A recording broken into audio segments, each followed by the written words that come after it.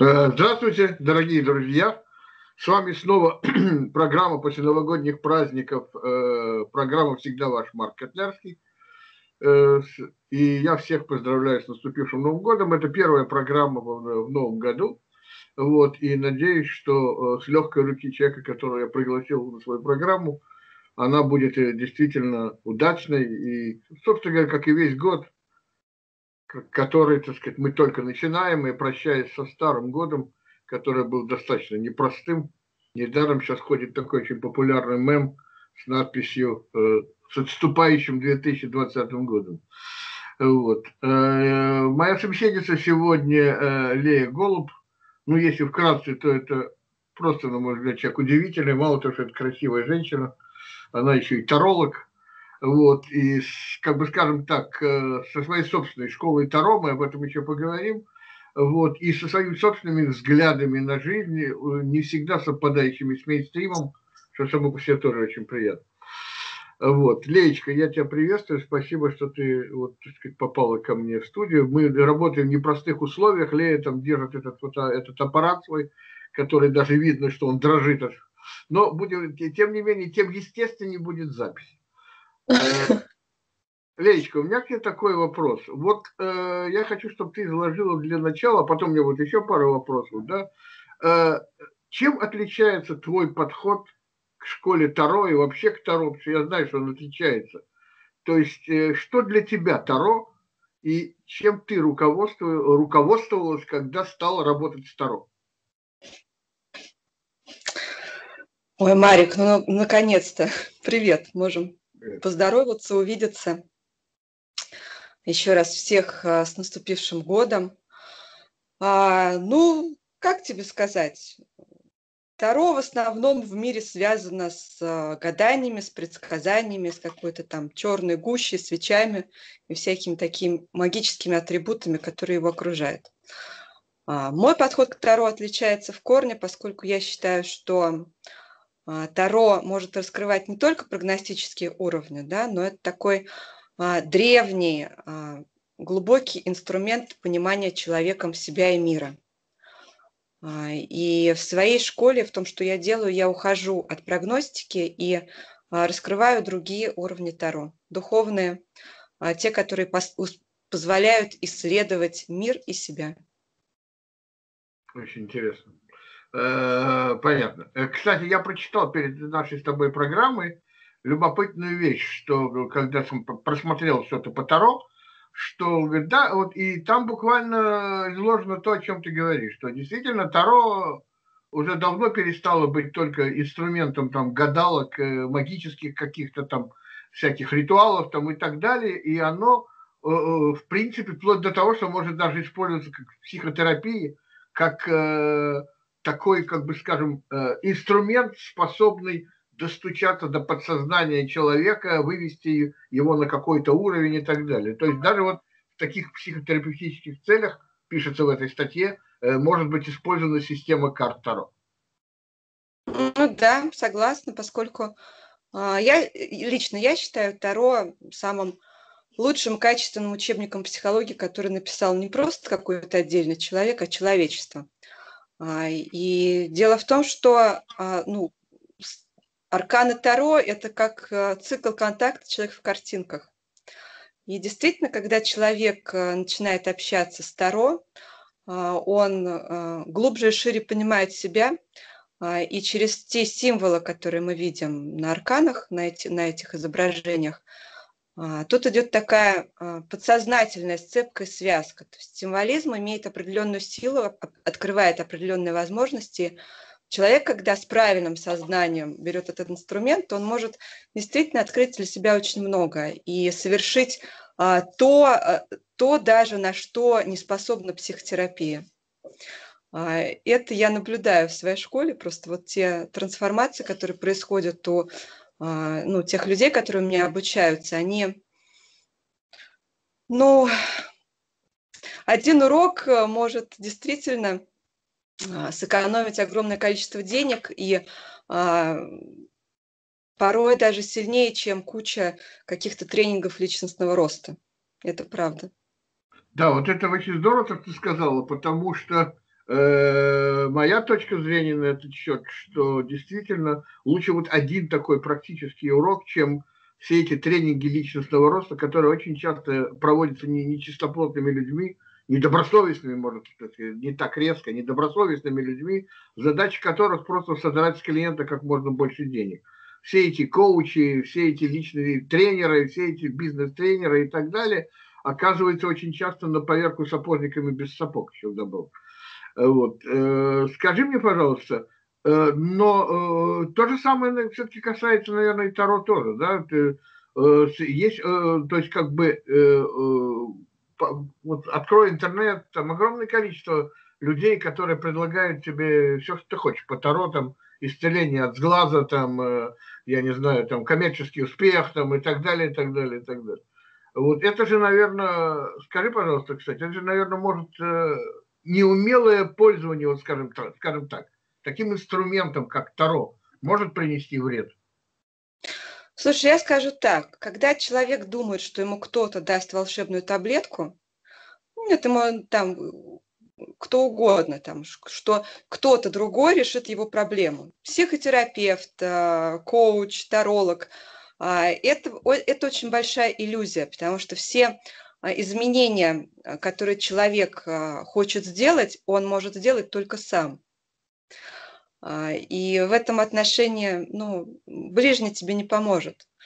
А, но если ты берешь какой-то инструмент и принимаешь вот эти вот перемены, свои желания, стремления, и действительно начинаешь делать это самостоятельно, ну, под каким-то руководством, да, то тогда это имеет место быть, и действительно, ну, не все там психологи, коучи, бизнес-консультанты, консультанты плохи.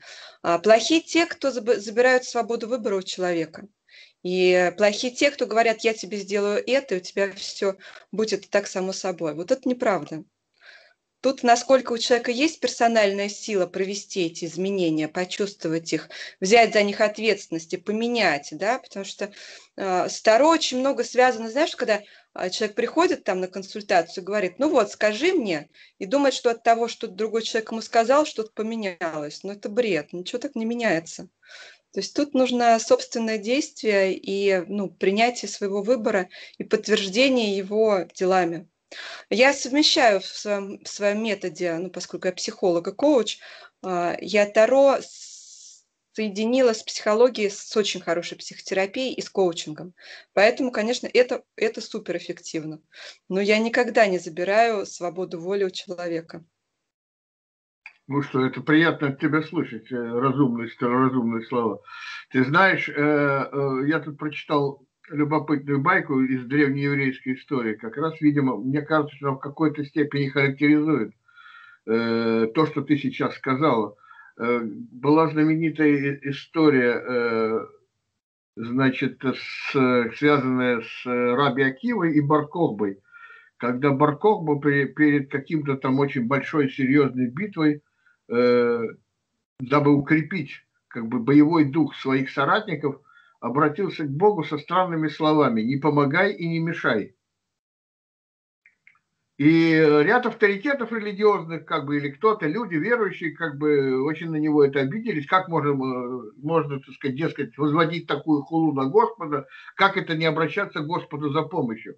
Но один был только тот, кто поддержал Баркову, это был Раби Акива, который сказал, что типа, ребята, все понятно, все правильно, потому что как бы тот самый случай, когда выражаясь русской пословицей, на Бога надейся, а сам не плашай. То есть как бы э, нечего все время уповать на Бога, надо прежде всего уповать на самого себя. Если только э, ты в состоянии уповать на самого себя, значит все, все и получится. А если только ты будешь э, искать кого-то, кто бы тебе изменил ситуацию, то никакого изменения не произойдет. Ну да, одно без другого не существует. Как всегда нужен баланс. Скажи, пожалуйста, э, а вот, э, насколько я понимаю, у тебя много, учеников, клиентов, как в этом? Ты в основном работаешь в режиме онлайн, насколько я понимаю. То есть, э, да, насколько я понимаю, по видео, там, я не знаю, зуму там и так далее сейчас в этой ситуации. Ну, конечно, а как иначе? Конечно, счастье офлайна сейчас нам в большей степени мало доступно. Вот, и, собственно, я не ограничиваюсь только офлайном, поскольку ну, у меня много людей из других стран, с которыми мы общаемся, с которыми, которые а, ну, изучают э, символизм Таро со мной, как это можно все а, встраивать в жизнь и раскрывать возможности. Поэтому это вся ситуация, которая сейчас, она, а, с одной стороны, даже на пользу, потому что мы можем общаться больше, и не привязываться к нашей локации. Скажи, последний вопрос такой, э, чисто практически, может быть. Э, Таро в какой-то степени, если я ошибаюсь, ты меня поправь, Таро в какой-то степени э, может спрогнозировать, смоделировать, скажем, ситуацию, связанную с будущим. Да, то есть, как бы, будущем вообще и будущем какого-то конкретного человека.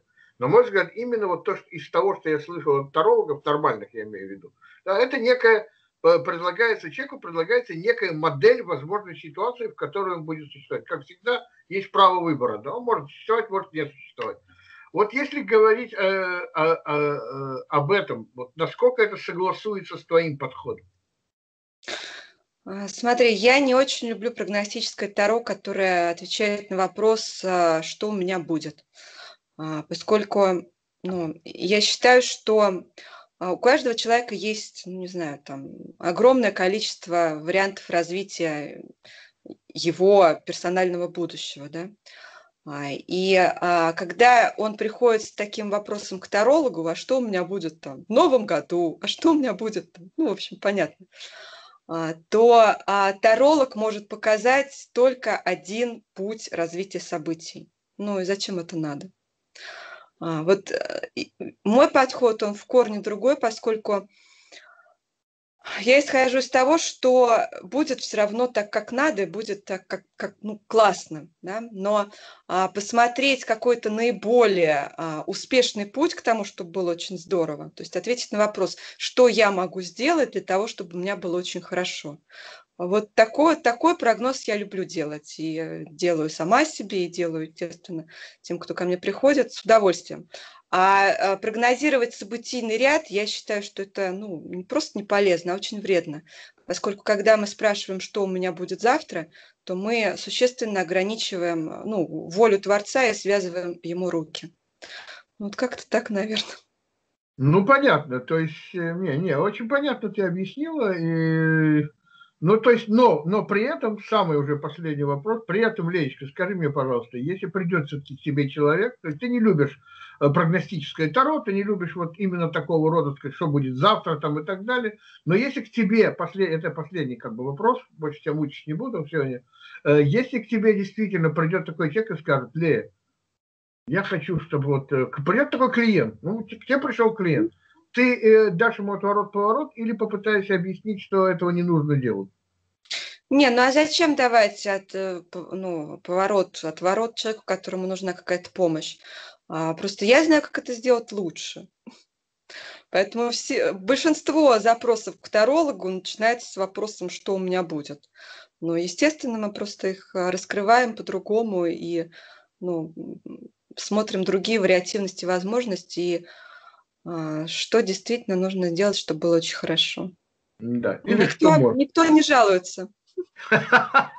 Или кто может быть, да. Кто это, это, это всегда больше. Как правило, тарологи не дают такую стратегию а, поведения, стратегию успешных действий, а просто говорят, что будет. Ну вот я да. немножечко ну, неправильный ну, таролог.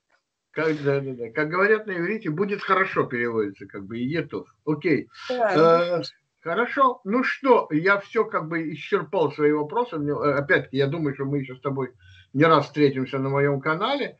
Э, вот, так что подписывайтесь на мой канал, ставьте лайки. А я напоминаю, что у меня сегодня в гостях была совершенно очаровательная женщина, несказанного очарования, я бы сказал, невообразимого очарования, но кроме всего прочего еще таролог, коуч, психолог в одном лице. Так что, если у вас есть вопросы, пожалуйста, задавайте, мы с Леей постараемся на них ответить. Вот. А если кто хочет э, с Леей как-то связаться напрямую, я думаю, что, так сказать, пожалуйста, можно через меня там или через ссылку какую-то связаться, задать вопрос. Но, в принципе, можно это сделать и в самой нашей программе. Мы обязательно там посвятим какую-то программу вашим вопросам. Э, окей, спасибо. Еще раз напоминаю, с вами был э, Марк Котлярский в программе «Всегда ваш». Э, до следующих встреч в эфире. Спасибо.